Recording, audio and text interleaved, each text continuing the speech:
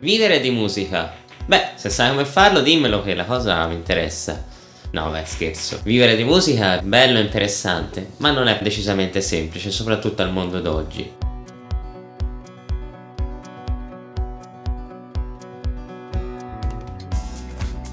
Comunque è possibile, ci sono alcune strade, me ne viene in mente tre in questo momento.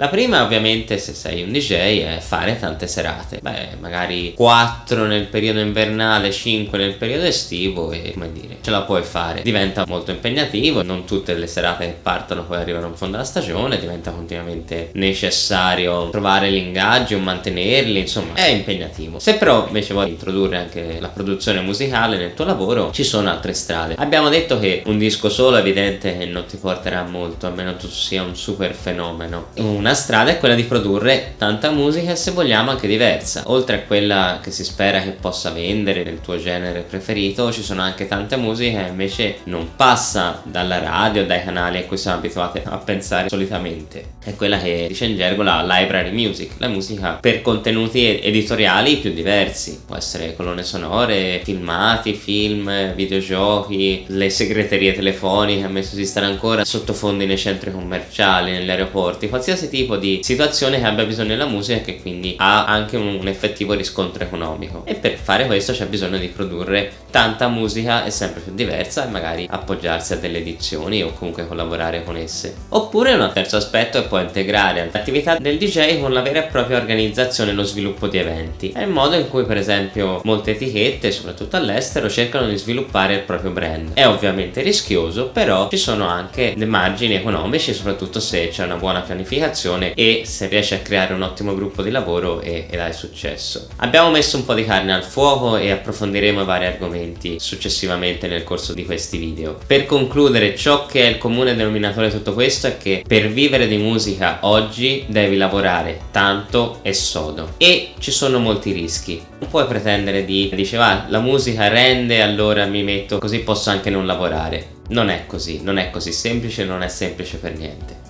Per vivere di musica oggi è molto complicato, c'è molta concorrenza, devi pianificare bene e devi sperare che tutto vada a secondo piani o almeno avere modo di riorganizzarti in corsa. Però se questo è il tuo obiettivo ti auguro di riuscire a raggiungerlo anche grazie ai contenuti di cui parliamo nei video di essere DJ oggi.